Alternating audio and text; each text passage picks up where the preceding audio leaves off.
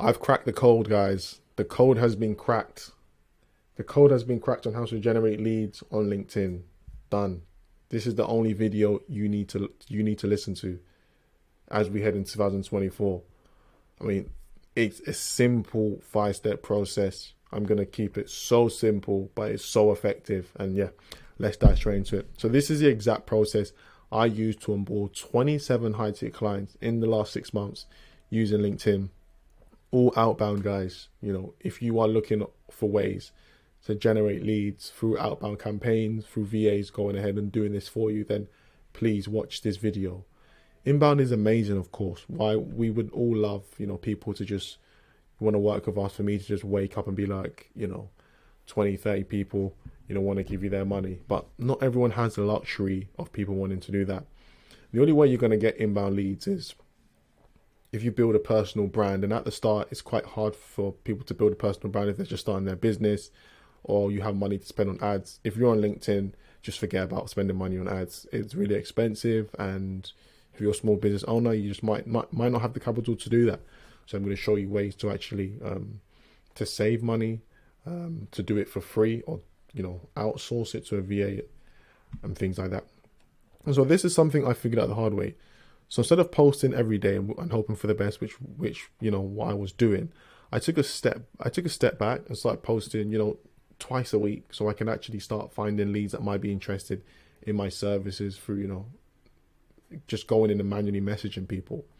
So my aim was to send 100 new, um, 100 messages a day. So coaches, consultants, those that's my target audience, and I just wanted them to know about me and how I could help them, or else I wouldn't sleep. And that's the goal. Um, I sent 100 messages. You can send unlimited messages via groups. So if you go into groups, you can send unlimited messages then. But if you're not, if you're sending manual messages, you can only be 100 a week. So I personally advise you to make it a bit more personal. Um, you know, back when I first started my business, my funds were, were low and stuff like that. So I had to do it myself myself manually. But you can also outsource this to to VAs or have outbound campaigns, which I'm going to show you in these steps.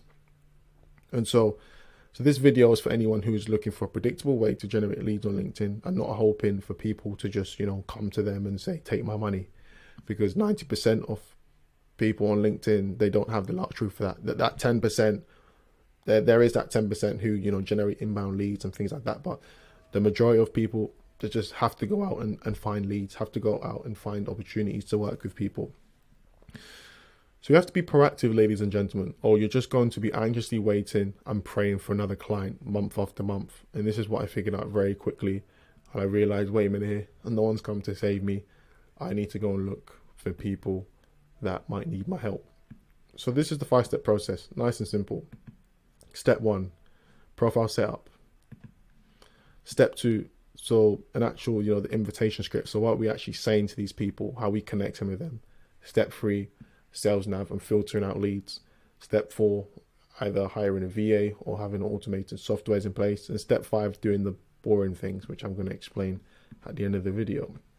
Also, if you wait until the end of the video, I'm going to show you an example too. So step one, profile setup. So the aim for the profile setup um, was to build a profile like a landing page so prospects would know, you know, what you do and how you can bring value to their business. I also made sure my profile was hyper niched, aiming to solve one problem for one type of audience.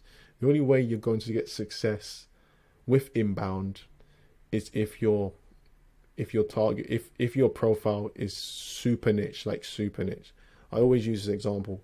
If you have a sore, you wake up with a sore back. You know you've had a you've had a dodgy sleep. You've got a sore neck and a sore back.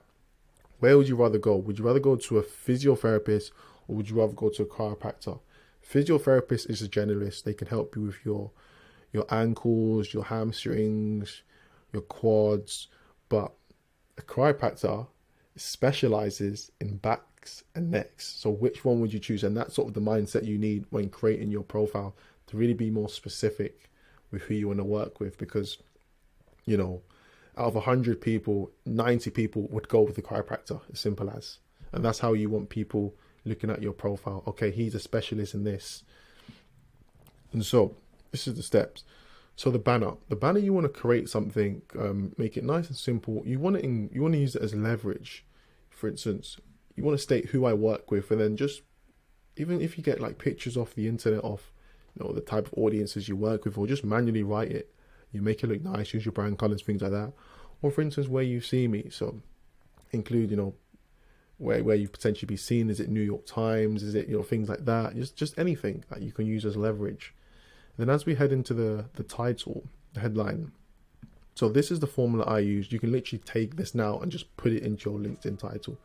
So I help target audience to do desired outcome by doing the mechanism you use in time frame or your money back or something like that. That's literally what you need to do. You don't need to start saying, I'm a CEO, I'm a co-founder, I'm an owner, I'm a speaker, I'm a this, I'm a blogger, I'm a writer. Because at the end of the day, guys, no one cares. I mean, literally, I'm sorry to tell you guys. I'm going to be honest with you because I got nothing to hide. No one cares that you're a CEO. No one probably even knows your company. They just care about what you can do, how you can bring value to them. So featured section. So featured section should consist of um, video testimonials, free value, whether that's training resource you have, um, ebooks, audiobooks, anything you can give to your prospects so they can see the value that you can potentially offer them um, if they was to pay for you, and then a calendar link, so a call to action there. And then the summary section. So this is how you should. This is the template I use literally for myself and my clients. So first, you want to state what I do, and then where you see me, where you see my work, who I work with, services I provide, what makes me unique, hobbies outside work, what others say, and then ready to talk. So with a call to action. So that's pretty much it. Keep it nice, simple, use emojis, space out the copy, and yeah. So let's dive let's go let's go down. So step two. So step two is actually okay. So what do I actually say? What do I say to these people? And this is the framework. This is the only framework you need. It's a four-step framework. You first ask a question. So curious about a specific topic, i.e., the product or service you sell, and tie it to a specific benefit they want or problems they need solved that can be related to that product or service. I'm going to show you an example, you know, after I explain the four step process so you actually understand what I'm saying. Then, step two, you offer something of value. If so, I have a free training, a blog post, an ebook, phone consultation, anything related to the topic and question you asked in part one. The key here is that you're offering that you are offering something free and of value to your target audience. Super important. Step three, you ask for permission. Just reply yes, thumbs up just reply okay to share your content or information and give them a simple way to um, simple way to tell you they want to learn more about what you do. Remember to, you know, I'm not assuming my connections will automatically want a link to my free piece of content. Instead, I'm asking them if they do. This makes all the difference. This actually is probably the most important thing. You know, when you're actually asking for permission, they think, okay, this person is friendly, this person is not trying to hard sell me. And then step four, and also another really important thing, you don't pressure them. If you're not interested, look, no worries at all. Just thought I'll check in. Give them an easy, a easy way out if they're not interested. Remember the long game. If the person isn't interested in the specific topic or message, he or she might be, he or she might be the next time you send a note about something else. Keep it conversational, friendly, and easygoing in tone, and people won't feel pressured or pushed or sold to. That way, you can circle back in a few weeks with another message that might resonate with them, that they'll be open to hear about. I've done this so many times. I've sent someone a first message, they're not interested. I've offered them something else, and then they've been interested. But the the only way I was able to offer them something else because the first message, well, they didn't feel pressured. They didn't feel like I was hard telling to them. So this is a sort of template you can use. So, hey John, hey Francesca, hey Amy, curious, are you interested in? And then the topic related to the benefit they might want. If so, I have, you know, this free resource, free content for you.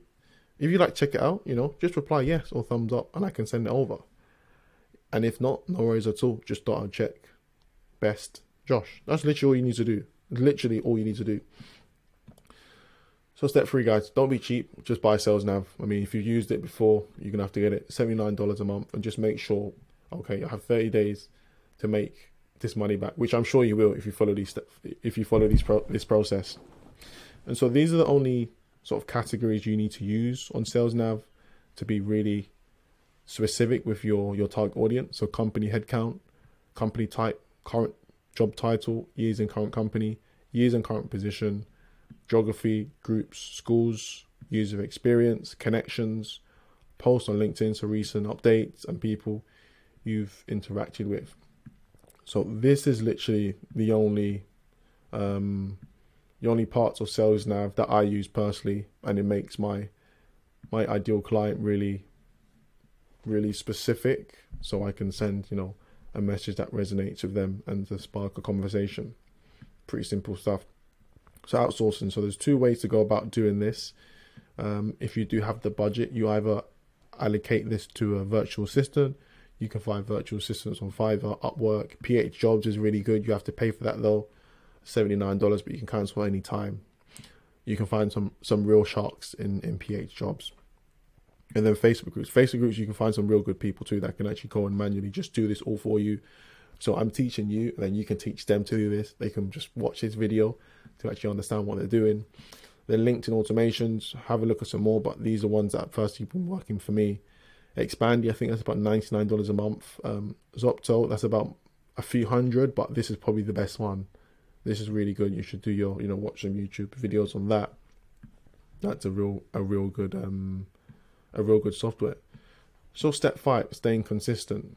So this is probably the most important thing. So once you've got everything set up, you need to stay consistent. You can't just, you know, after two, three days, you can't just like give up and, and not do it. This needs to be done every day. And that's why I say either you hire someone to do it or you just have to have the discipline to do it yourself. So staying on top of um, outbound campaigns, split testing scripts, seeing which ones are working. That's important because you just don't want to like, if you send X amount of of messages and people don't reply, that's fine. Don't just start beating yourself up. Just send something else. Figuring out a framework you can use to book, you know, six plus meetings a week. So once actually people reply, you send them you send them um, the ebook. How do you then spark a conversation again to get them interested in a call? These are the stuff you need to figure out. Um, let me know if you want me to do a video on that and actually how to actually turn that free resource that you give into booking a call. I can do a whole separate video on how to actually message and and um, and converse with people. And then you always want to be getting insights by your industry and things like that, and you want to be getting you want to be getting feedback from your audience so you know what to message them and things like that. So yeah, guys, this is the video. It's a five-step process, as I said. Um, let me know if you found this valuable. Let me just go over with it with you again quickly.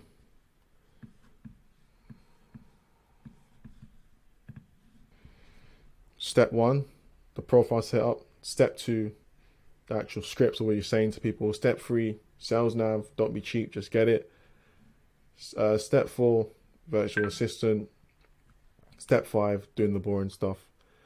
Like, subscribe. I'll see you in the next video, guys.